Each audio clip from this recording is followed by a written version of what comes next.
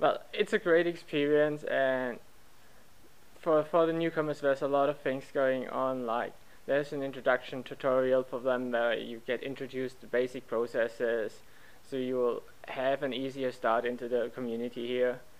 And there's also some socializing for the newcomers. With the uh, newcomers introductions and the tutorials, where tutorials uh, they, where they tell you how the process is to actually write those standards.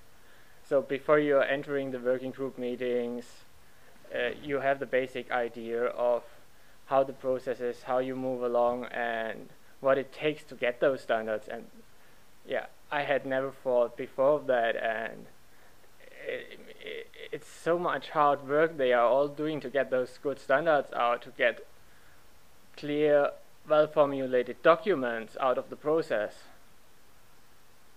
I found both uh, the tutorials very useful upfront and then the working group meetings are even better because well it's often detailed discussions about the, the problems that you as an implementer can run into as well.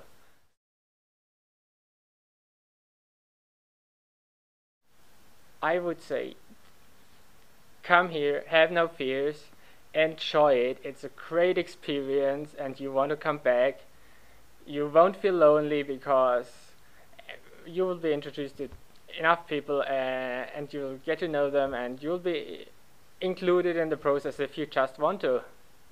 So, yeah, I'll be back.